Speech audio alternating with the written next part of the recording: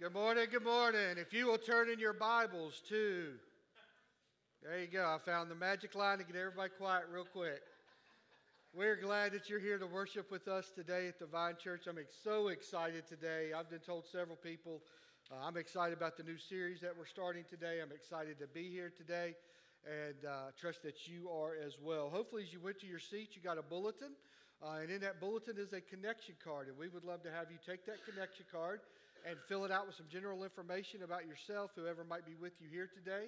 On the back of the connection card, there are things there if you would uh, like to talk to someone or have information. There's even a place for prayer requests uh, that we could pray for you. Uh, we would count it a joy uh, to do that. So make sure you get a bulletin, make sure you get a connection card, and so forth. Uh, we have changed the order of worship up a little bit today, so I don't want to catch you off guard. Um, so if you have kids, uh, we're still going to do a good set of music, and at the end of the music, uh, you'll just send them to the back, and they'll be dismissed up to uh, up the up the way for their class. Uh, usually, it's a little bit earlier in the service. Today, it'll be a little bit later because we're doing um, so much of the music together. Uh, this is Family Promise Week. Um, and so we're providing dinner for Family Promise Ministries tonight, Monday, and Tuesday night.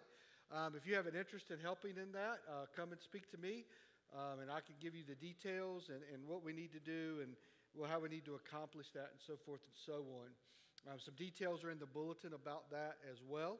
And uh, next Saturday, we are having a men's ministry meeting, and uh, we'll be gathering at 9 o'clock. I'm cooking breakfast next week, like real legit breakfast. Uh, so we'll have that next week and Bible study and prayer time together. And uh, again, the details are in the bulletin. I want to encourage you to get that. Um, I want to do something special today. Uh, today is Maggie Duke's last Sunday here officially. All right, so Maggie, come up here. Come up here. Maggie uh, has been running our camera system and our live stream system and all that uh, for the last two or three years. And uh, she is uh, leaving us to go fulfill part of her dream, which is to become a full time dog, right? A full time dog. And uh, so she's leaving this week to move up to Athens. And, um, and so that, so I want to do something today. Lisa, I'll, Lisa, could you come up here and stand with her? Somebody give, give, give, them, give them your phone. Give somebody your phone. Give it to Air or whatever. Okay. You come up here, and I'm going to ask Joe and Carla Cook to come up here. They head up our young adult ministry. And I, and I, huh? Well, Joe can step back in. His wife's getting him, I could tell. See? Well, maybe not. Oh, okay. All right. So, whenever you see Joe, everybody ask him, Where were you at? Okay? All right. But Maggie, I want to say a couple things to you. One, I appreciate uh, your service uh, that you've given us here at the Vine Church. Uh, you've been very faithful, very diligent. Uh, when you were going to be out of town, you would tell us when you know you weren't. You were here to work and serve and, and, and do all that. And I really do appreciate that. Reliability is a great characteristic that you have, and I, I appreciate that. Secondly, I want to encourage you. Uh, you've dreamed about this for years. Uh, it's been a focus of yours all through middle, high, and even the first couple years of college. And so go and chase that dream. Go up there, have a good time, uh, enjoy yourself, study hard, okay? Um, but go and do that. But I want to pray a blessing over you, if that's okay for you this morning. Father God, Lord, we thank you for Maggie, and we thank you for the ability she has to, to go fulfill a dream of hers, Lord, to uh, to go up to Athens and to go to UGA and be a student there and to graduate from there uh, in her studies. And Lord, I just pray she leaves here and leaves the comfort of home and leaves the comfort of schedule and leaves the comfort of familiarity, that Lord, you'll surround her uh, with great friends up in Athens. You'll surround her with great Christian friends up in Athens, Father. And I pray that as she goes off, that Lord, her relationship with you would continue to grow and grow strong. Uh, Lord, we look forward to the times when she'll come back into town and we'll get to see her and and catch up with her, Lord, and we just thank that. But Lord, we just pray um, that you would bless each of her steps uh, as she heads up there, as she uh, goes into her apartment, as she goes to her classes, that Father, you would just guide her, bless her. Uh, Lord, we just look forward to great things uh, that Maggie will do in your name and for your glory uh, in her life. And so, Lord, we just lift her up to you today. In Jesus' name I pray. Amen and amen. Thank you. Thank you. You guys can be seated. Well, again, there he is. Well, again, we're glad that you're here today. Let's stand up and greet each other, and then Tucker and them will lead us in some worship.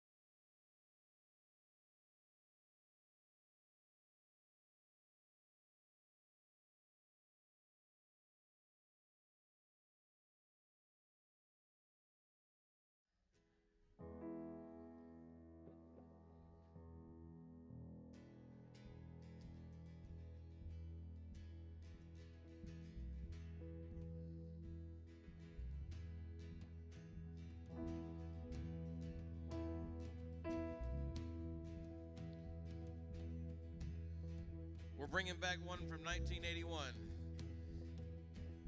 I need your participation a little bit this morning. So, for the next three lines, I'm going to sing it and then you'll repeat it, okay? Let's practice it. You ready? Here we go. I will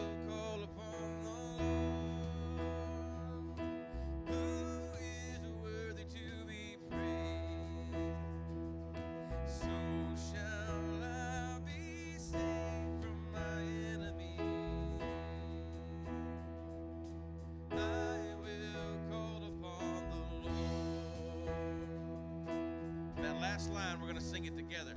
So let's try it. Here we go. You ready?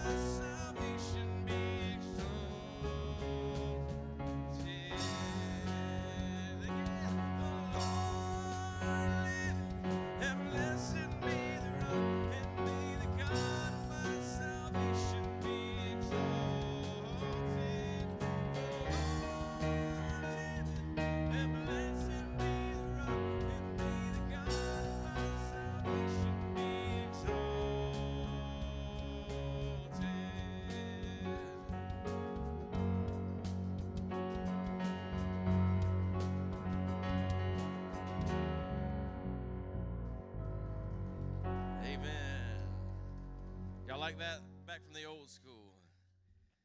Psalms 18 this morning. Psalms 18.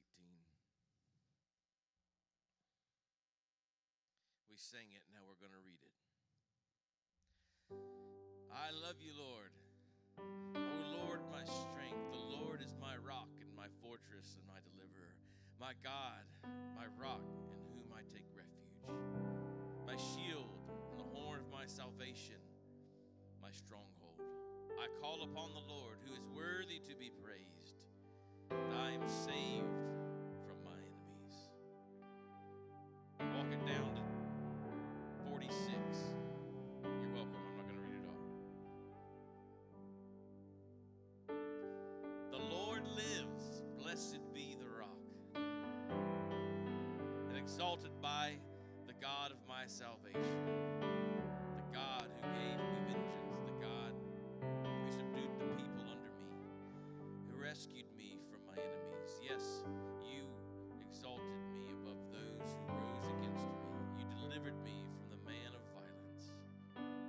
this I praise you, Lord, among the nations, and sing your name. Great salvation he brings to his king, and shows steadfast love to his anointed. The Lord liveth.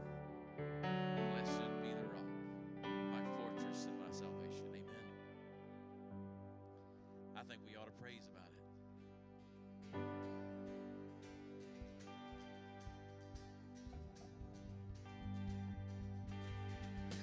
Praise in the valley, praise on the mountain.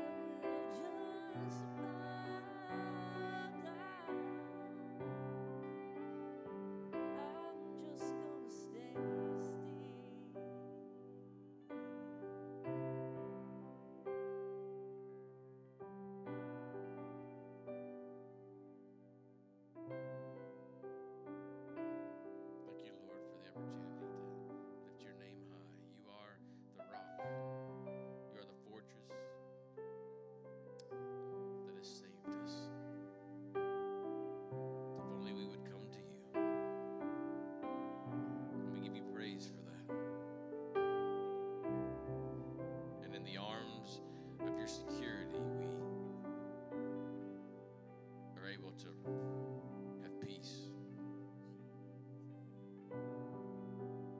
When we stay still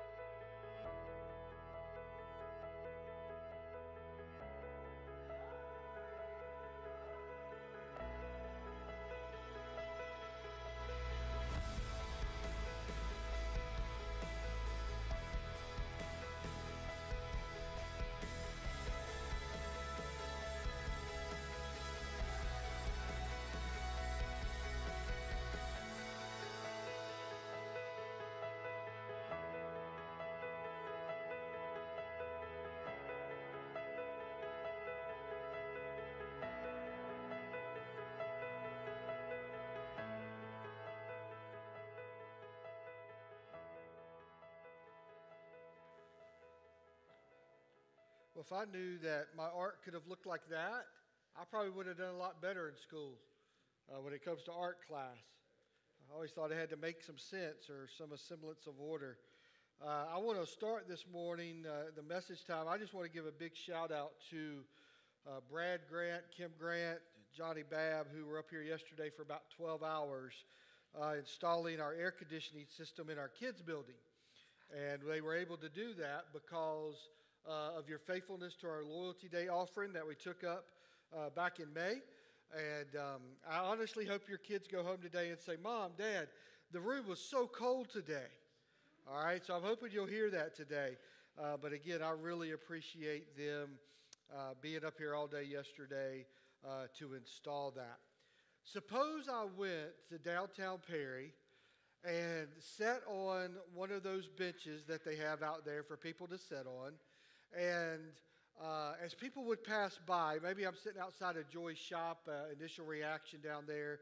Uh, maybe I'm sitting outside of her shop, and as people come by, uh, I say to them as they pass by, Hey, I'll give you a million dollars. And I'm sure there's some people who would just sort of look and chuckle and keep walking. But, but there were some who would at least stop and say, What? Like, did I hear what you just said correctly? And I said, Here's the catch I'll give you a million dollars, but you have to live the rest of your life by yourself on an island. Now it won't be it won't be like Castaway. You you know you you'll have food, you'll have a place to sleep. But suppose that that I I put you there and I offer you that. Now we know that there would be some sarcastic people, right? Some sarcastic people who would say, "Oh, a million dollars and I don't have to live with them anymore? Oh, that's great. My dream come true." And at the same time, probably his wife would say, "You know what? My dream come true."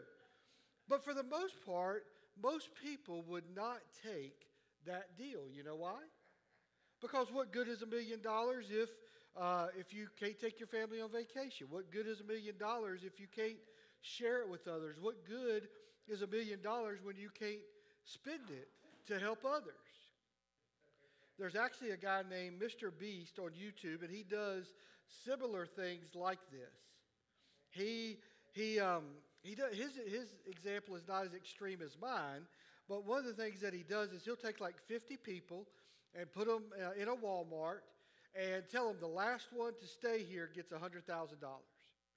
And so that'll be the deal. And, and they start out with 50 people. But here's the amazing thing you would be amazed at how quickly the first 40 people drop out. Like in the beginning, it sounds like a great deal. They may make it one night, but, but by and large, by the next day, they're sort of like, uh, I'm, I'm, I can't do this. And so the first 40 drop out real quickly. It gets down to about 10. They last longer. Gets down to five. It lasts a little longer. Gets down to the last two. And they really sort of battle it out because at this point, they feel like they could see the money. But why do most people not take that deal? It's one word community. Not that word. Community is the word. Now, here's the definition of community a group of people whose members have a common unity or a common interest or a common idea or a common thought. And we know that we have lots of communities in our lives, right? We have family communities. You have that, that family community that lives under your roof. Uh, you have that extended family community of those who live outside of your house, but they're obviously related to you. We have work community, right? Uh, of the people that you work beside 40, 50 hours a week. Uh, we have sports communities, right? Uh, your kids on a ball team and, and they have a common interest and they have practice and games, and so there's a community there. We also know in three or four weeks that we're going to have uh, the adult sports community kick off with college football and all that kicks back in. We'll be excited about that. We know that there's a hobby community where people are focused around certain hobbies. We know that, that people go and join hunt clubs, and, and it's a group of people that are going to hunt this land for the year, fishing communities, those kinds of things. And we even have a faith community. Uh, that's sort of what we have here is a faith community. And, and the reality is that we were designed for community. In fact, we actually desire community. And even though we don't do it right all the time, and even though uh, we do it bad from time to time, it is a God given, built in need that we all have. Now, if we can be honest, we've all been hurt uh, by community at some point. We've all had our feelings hurt, uh, you know, whatever it may have been, whatever community it may have been. We've all experienced that. And one of the things that happens when we get hurt at communities, we sort of draw in and, and draw back and, and isolate. And for some, it's, it's, it's, it's really hard at that point to then open back up. And many of us may have experienced that. But if God's design for us is community, then what do you think Satan's desire for us is? Isolation. Isolation. We need community. This week I just sort of came up with three reasons why we need community, and I called them the ABCs of community. Uh, here's the first reason we need community, and that's accountability. Accountability. And if we're honest, accountability is one of the reasons we shy away from community. We don't want somebody to keep us accountable. Most of us will let ourselves down before we let somebody else down, right? Somebody, uh, uh, we'll let ourselves down before we let somebody else down, but we need accountability.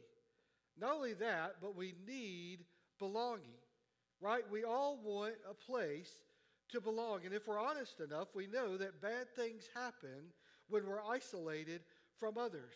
I watch a lot of documentaries, and it would not surprise you that most serial killers are people who lived isolated.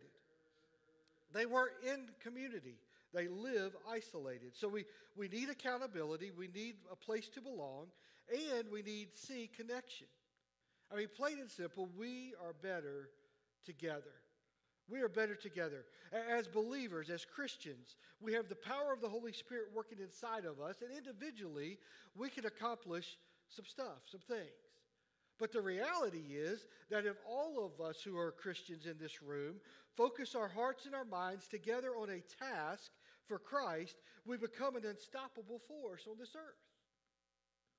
If we could come together and have that connection and have that belonging and have that accountability with one another, I learned this lesson uh, of all places in the gym. May, you may not believe it to look at me now, but several years ago I did a triathlon. And when I did a triathlon, I trained for nine months solid. I can remember when I started in January, it was cold outside. I was riding my bike in the rain and the cold just to start and begin my training. And throughout that nine months, there were times when I would meet Scott Godman uh, over at Cantrell Center in, in Warner Robins, and we would swim laps in the pool as part of the training. There were times when I would meet with other people at the gym and, and go work out, sometimes really early in the morning, which is not my thing, but, but I would get up and go to the gym early to work out with them. I went with Scott and Tammy about a month before the race, and we went up to the lake just to, the, the race was you swam in a lake, so we went to swim in a lake. The week before the race, we went to the, the course and we rode our bikes over the, the course that we were going to ride the next week. And what I learned was I will bail on myself before I will bail on somebody else waiting on me at the gym. It's easy for me to talk myself out of training. It's easy to talk myself out of the gym, but if somebody is waiting on me there, I will never miss. And that's part of community. Well, our series that we're starting today is called One, and it's all about community. And, and in fact, though literally, the more I think about it, every principle, everything I'm going to say to you can apply to all of our communities, our family community, your work community, and so forth. The, the, the community that I'm really focused on is our faith community, our church family, our, our faith community. It might surprise you, it may not, that, that over 50 times in the Bible, this phrase is used of one another. One another. The Bible tells us to honor one another, it tells us to greet one another, to welcome one another, to fellowship with one another, to agree with one another, to be kind to one another. And the list goes on and on and on. Like I say, it's almost 60 times in the Bible that it uses these phrases. And so today I want to start with one of those phrases that we find in the book of James, chapter 5. So if you have your Bibles, turn to James chapter 5. We're going to read one verse to sort of kick off the morning. And, then we'll have several other verses throughout the message time. James chapter 5 and verse 16 says, Confess your sins to each other and pray for each other so that you may be healed. The earnest prayer of a righteous person has great power and produces wonderful results. So we see here that James tells us to confess our sins to one another and to pray for one another. To pray for one another in our communities, to pray for one another in our family, to pray for each other at work, to pray for each other in our teams. I mean, I was thinking about this week. Parents, uh, you have kids on a team. Have you ever maybe thought, you know what, I'm going to pray for all the kids on the team? But yet, he tells us that we need to pray for one another. Spurgeon said that prayer meetings are the throbbing machinery of the church. Uh, that's where the work is being done. That's where the hard work is being done in the life of the church is through prayer. Now, when we pray for each other, it's, it's, it's called interceding for one another, to intercede for them. And you'll find this word uh, in the Bible, to intercede for one another. Here's sort of the definition of that that is to make an appeal or a petition on behalf of someone else. Not to just to pray for yourself, but to pray for someone else. And when we do that, we are interceding for them. The Bible speaks a lot about this. It tells us that Abraham interceded for Sodom, that Moses interceded for Israel. Paul tells Timothy in 1 Timothy chapter 2, he says, I urge you first of all to pray for all people. Ask God to help them, intercede on their behalf, and give thanks for them. So he tells, he's telling young Timothy here, pray for all people, intercede for them, uh, thank God for them, ask God to help them. You may want to write this down if you're taking notes. Prayer is the one thing that nobody can ever stop. Even if somebody's mad at you, they say, and you say, I'm going to pray for you, and they say, Well, don't pray for me. They cannot stop you from praying for them. Prayer is the one thing that we can always do. Paul even asked the Colossians to intercede for him in Colossians chapter 4. Verse 2 says, Devote yourselves to prayer with an alert mind and a thankful heart. Verse 3 says, Pray for us too, intercede for us What are we interceding for? What's the appeal that we're going to make to God? That God will give us many opportunities to speak about his mysterious plan concerning Christ. That is why I am here in chains.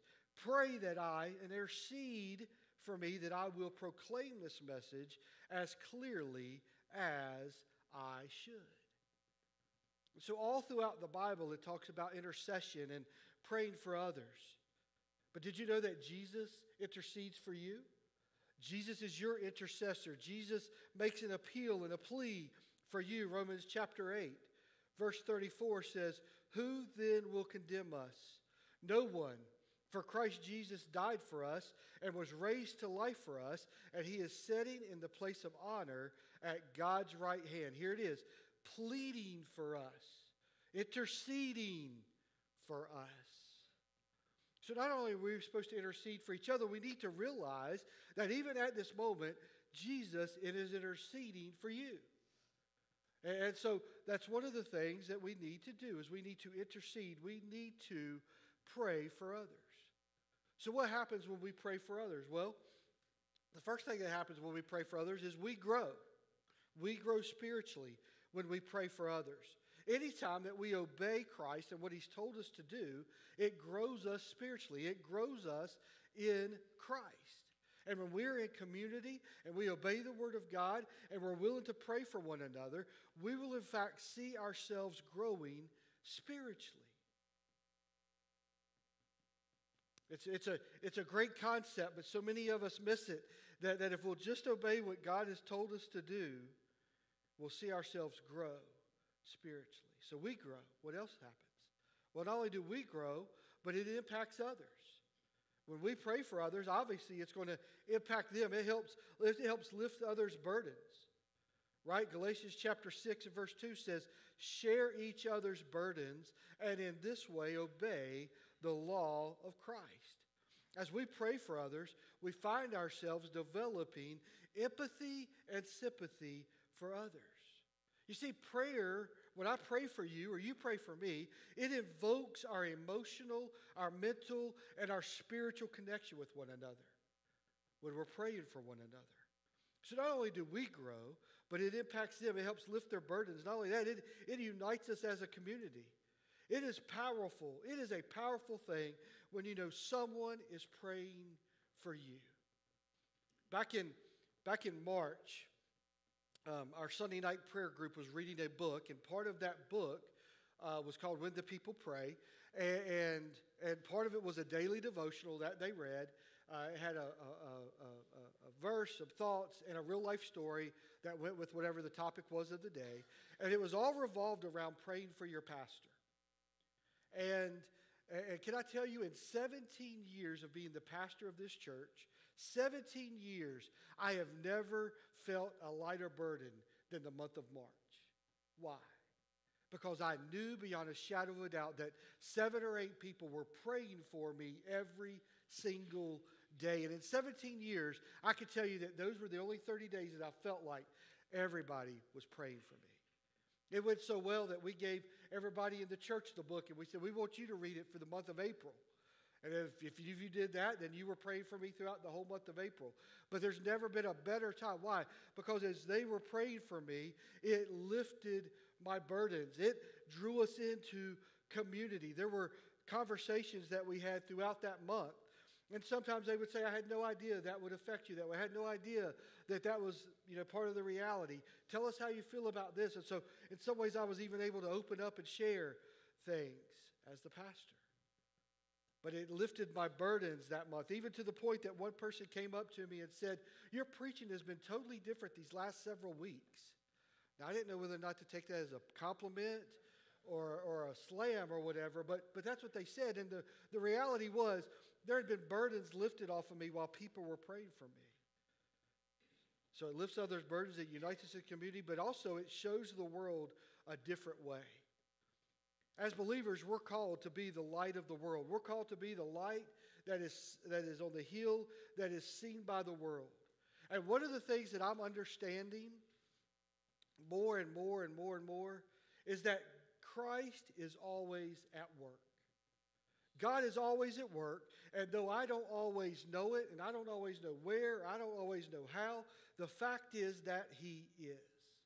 And He calls us to be a light to shine on Him because you don't know how God is working in someone else's life. You don't know how God is working in the life of that person at work. And so as you pray for them, you don't know what God is already doing and stirring in them. And so as you pray for them, it shows the world a different way. It shines a light for Christ. Let me, let me just let me just sort of if let me just sort of tell you how this plays out. Like, like God nudges us, right? There are times when God will say, pray for those folks. This week, I was sitting there working on my sermon, and out of the blue, I felt like God said, pray for this person. And so I did. I stopped what I was doing. I prayed for that person. It wasn't a long prayer, it wasn't a lengthy prayer. I didn't even know what I was praying for specifically. I just prayed for them. And so when I got to pray for them, I sent them a text that said, Hey, just wanted you to know I'm praying for you. And the response I got from them was overwhelming. You won't believe what God's been doing. You won't believe what God is, is showing me. You won't believe what God's doing in my life this week. You won't believe. See, I didn't know all of that was taking place. I had just been sort of nudged by God to pray. Friday, they had to rush my mother in law back to the hospital. She's been in the hospital, I don't know, 10 times since, since January. And they had to take her by ambulance and they rushed her to the hospital. Yesterday morning, uh, she went unresponsive for a bit. And, and I have no doubt that, that yesterday morning, God nudged some people just to pray for Monica, for her mom, for her family, not knowing what had happened, but He just nudged people to pray for them.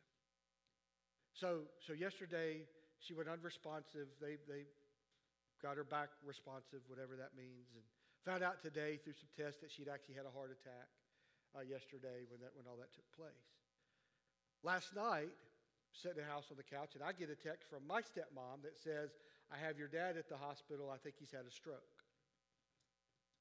I have no doubt that yet, last night God nudged some people just to pray for me, not knowing what they were praying for, not knowing that my dad was rushed to the hospital, but God nudged you to pray for me.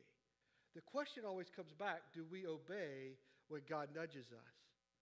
When God says, hey, pray for those people, do we obey God when He says to do that? We don't need to know the time, the place, the circumstance. We don't have to know what all is going on, what all the answers are.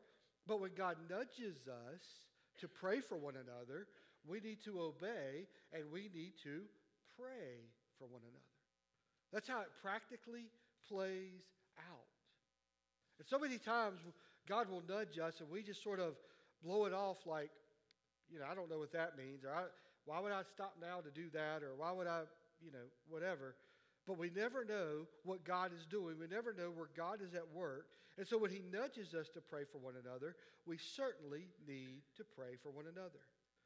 Here's the third point. Not only uh, do we grow, not only does it impact others, but it also brings glory to Christ.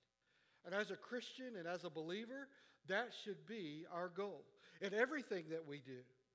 And everything that we do as a believer and as a Christian, whether it's in our profession, whether it's in our family, the goal should be to bring glory to Christ. Ephesians chapter 3 says, Now to him who is able to do immeasurably more than we all ask. How do we ask? Prayer. Right? The things we ask of God, how do we ask that? It's through prayer. So, so now to him who's able to do immeasurably more than we ask or imagine, according to his power that is at work within us. To him be glory in the church and in Christ Jesus throughout all generations, forever and ever. Amen. It, when we pray for one another, it brings glory to Christ. So not only do we grow, not only does it impact the lives of the people that we're praying for, but it brings glory to Christ, which should be our goal each day. So let me just build this from the ground zero. Let me ask you some questions. How many of you, don't raise your hand, just, just answer this to yourself. Do you get the prayer list that is sent out by me, by the church, each week? Now, if you don't, the first thing I want to say to you is take a connection card or a sheet of paper, write your name, your email address, and, and write prayer list, and get that to me, and I will add you to the list. So if you don't, that's, that's what I would encourage you to do. If you do get that list, let me ask you this question do you open it? Do you open it? Do you read it? It's a long list. There's lots of names on that list of people I don't even know because maybe you put it on it. It's your cousin or whatever. It's a long list of folks, but do you open it? Do you read it? And then here's the last question Do you, in some way, pray for those people on that list? There's about five or six categories on that list. Maybe you pray for a category a day. Maybe you just look down the list and you end up praying for the people on that list that you know because many of our names are on there. But, but, but that's just one avenue in which we can pray for one another. And if we can all agree on how valuable prayer is, I don't think there's any discussion or dissension on how valuable prayer is in our lives and in the life of our community, then why don't we do it? Over the years, I've had lots of conversations and asked that questions a lot of times. I've gotten this answer well, I'm really busy, Rick. I'm really busy to really have a, a time to sit down and pray for one another. I'm doing good just to have time to pray for myself. I'm just that busy. Some people have said this, and maybe this is you. They're like, I'm really intimidated by prayer. Like, like just the, the idea that I'm talking to God directly intimidates me. And, and I've had people say this I, I don't really have the right words to say, I really don't know what to say. But the reality is, the Bible tells us that we need to pray for one another. And as we pray for one another, we will see us drawn together in community. We will see us come together as one. One of the areas uh, in our life and one of the areas in our church that we need to uh, become one, that we need to have community is among our men. And so I've asked Bud Pierce to come and to just talk about our men's ministry uh, for a minute. There's some things coming up, some things that are a little different, some things that are changing. And so I wanted him to come and share that because men, we need each other. Men, we do. And I know sometimes we play the, the tough card and I don't need anybody and I can do it all by myself. But the reality is we need one another. But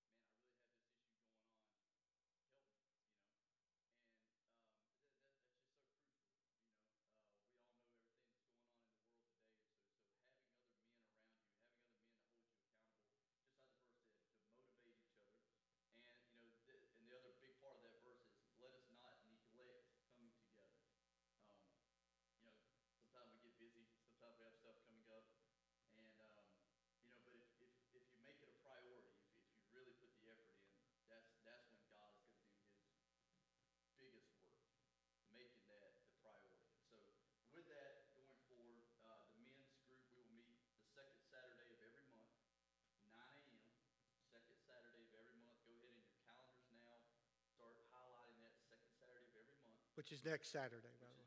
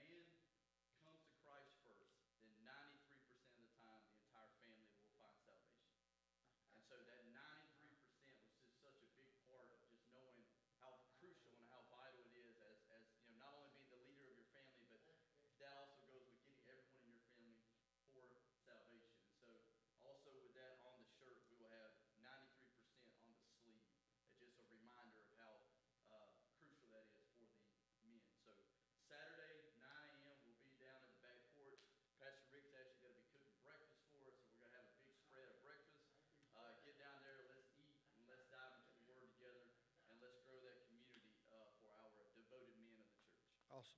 Awesome. Thank you, Bud. Hopefully, you can make it there. We would love to see you there because, guys, we need that. Uh, we're the first ones to try to isolate and say, I can do it all on my own in my own strength, but we need each other. We need that accountability. We need that place to belong. We need that connection with one another. So, I want to give you some opportunities that you have uh, to pray for one another. Every Sunday morning, we meet at 9:15 back in the overflow room back there, and we have a, a prayer meeting. We pray for uh, the service in particular. We pray for our church uh, directly. We pray for there may be some needs. Like today, we were praying for uh, my dad and mother-in-law. We you know, we may pray for some of those things, but it's really to pray for the worship service, to pray for our church, and so forth. That's every Sunday morning at 9:15. On Sunday nights, we have a group of people that pray at 5:30 back on the back porch, uh, down the hill down there. Uh, Miss Pat heads that up, and so we, we meet each week and uh, pray back there at 5.30. And then Wednesday nights, Fred and I have been getting together and, and praying at 5 o'clock right here in this building. And so those are three opportunities that you have uh, to connect with people and to help us pray for one another. I also want to let you know that coming up on August 18th, we will have our next night of prayer. So I want to encourage you to be here for that. It's at 5:30. Details are in the bulletin. I want you to have opportunities that you can come and pray with us as we pray for one another. Two last things. One, I want to encourage you to memorize James 5:16 this week. Uh, it's not a long verse. It's not difficult to learn. So I want to encourage you to memorize that uh, this week under the area of praying for one another. And then I want to challenge you. I want to challenge you to do this this week if you can. Find a way, you could use the prayer list that I'll send out or whatever, but find a way to pray for seven days for our church. You may pray for your life group. You may pray for our church. You may pray back on the, um, the thing as you walk out, there's prayer lists for different areas of ministry. Uh, they need to be updated. I haven't updated it since before the summer, so some of them need to be updated. But there's children's ministry, youth ministry, worship ministry, men's ministry, women's ministry. Take one of those with you. That will give you something to look at, to read, to pray. So I'm going to encourage you, I'm going to challenge you to every day pray for one another. And, and I believe, uh, because God's word tells us to do it, that if we will do that, we will see great things happen. Now, before I pray, Aaron wants to come up and say something. Aaron, you coming? Quickly. And then after Aaron shares, I'll pray. And then Tucker will lead us out.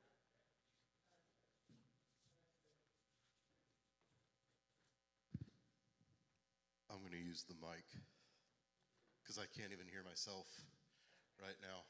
Uh, man, um, I had no clue, actually, just like you most likely didn't, that this is what Rick was going to be preaching on this morning. But I felt a push and an urge this morning as I was talking with Monica uh, just to pray over the two of them. Uh, because I know that they've been through a lot this last week. Um, I know that as you know, someone on pastoral staff that works on staff at a church, that not only do you have to carry your own burdens, but oftentimes you have to carry the burdens of the church as well. And so uh, I wanted to take a minute this morning before we leave uh, just to pray over Monica and Rick. And I wanted to ask a couple of our men if y'all could come up as well. Uh, and we'll just lay hands on both of them. Monica, please come up here. Um, and, uh, and just to pray over them and pray over their parents, pray over their family, and just take a minute to, to hopefully provide them with what Rick just preached on. What better way to put it in a practical application? Um, so, yeah, let's pray. Father, I thank you so much this morning, um, God, just for the uh, word that you've prepared, uh, God, the message that you put on Rick's heart. Uh, Father, we trust and know that you are in control, God, that you are sovereign in all things. God, that nothing catches you off guard, and Lord, that you still sit on your throne. Father, this morning we know that um, our pastor and Monica are heartbroken. God, that they've got a lot of um, hurt in their family, God, that they've got sickness and, and got things that are just looming over their heads right now. And so, Father, we come to you this morning as a church, God, and we just pray that you would give them peace and clarity during this time. Uh, God, that you would give them all of the steps that they need to take to provide their family with peace. Uh, God, we thank you for their leadership within our church, and we just pray that you would continue to build them up. God, as they carry their own burdens, as they carry the burdens of the church, Father, I pray that we as the church would come alongside them and help to lighten that load, whether through prayer or through service, God. Uh, Lord, we just pray that you would continue to move in their lives. Father, I pray for each of their parents that are going through all of this sickness and unknown right now, God, that you would just be the great physician and that you would do the healing that only you can do. Uh, God, we are trusting you in all things. God, we thank you for this service and this message this morning. Father, I pray that we would be a church that prays together for each other. And God, I pray that we would be burdened this week, throughout the whole week, not just to pray for each other, but God, to pray for our pastor and for his wife and, and for their parents, God. God, we pray for specifically Monica's mom, God, that the doctors that they're going to go see in the next week would help to shed some light on what's going on. And Father, we pray for Rick's father as it seems he's had a stroke. God, we just pray that you, you would give the doctors all of the care and all of the things that they need just to help see him through this.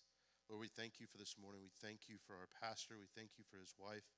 And we thank you for their commitment to the Vine Church. And we just pray that you would continue to fill them with peace and confidence in this time. In Jesus' name we pray. Amen. was happening because I probably wouldn't have let you do it. Too but I appreciate it. But it makes a difference.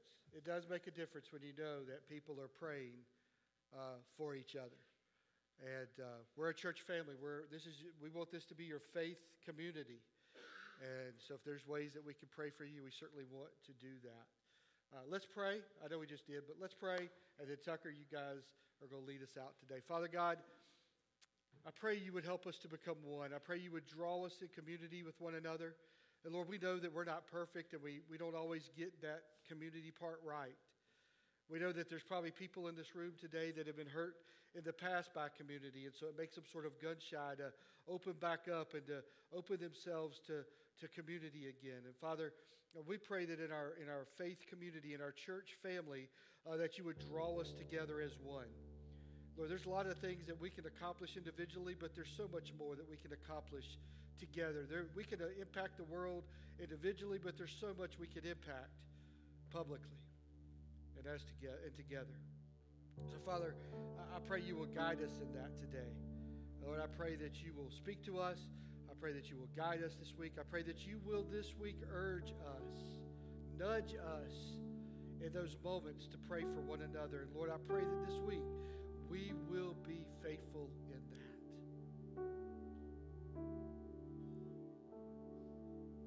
Father, what a light it will be to the world, what a light it will be as our burdens lift, as we pray for one another this week. In Jesus' name I pray. Amen. I'm going to share this with you before Tucker and them start singing. I just got a message. I don't know if it came in late last night, early this morning, uh, from our pastor friend in Peru. And now I'm starting to call him my pastor friend instead of using his name because you know that several weeks ago I told you their house had been vandalized. They had been threatened. Uh, they feel like it's by some human traffickers who, who are there. And they, so they moved. They, they moved from this house that had been vandalized over here to a different place that would be safer. And praise, you know, got a, a message, praise the Lord for that. But the message last night or this morning, whenever it came in so quickly, was that these people have been like approaching his daughter and approaching his outside his wife's work and approaching, going, oh, do you know such and such? Do you know Pastor such and such? And so even though they've moved, where they felt like would be safer, it's almost like, as as it was said in the message, these people are following them, trying to find them. So this week, as God nudges you to pray for Peru, to pray for Pastor, please do it. Don't hesitate. Because we don't know what's happening at that moment down in Peru. So when God nudges you this week, I'm begging you,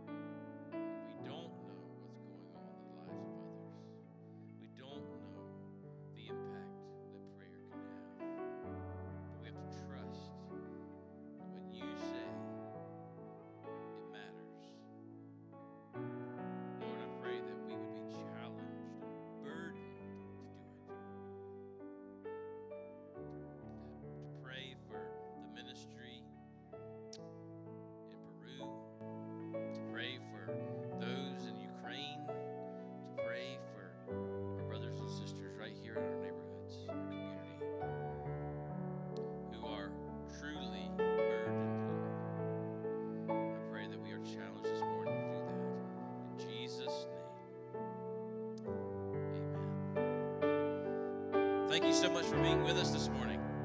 We hope that you've been challenged. Go be God's people, and we'll see you next week.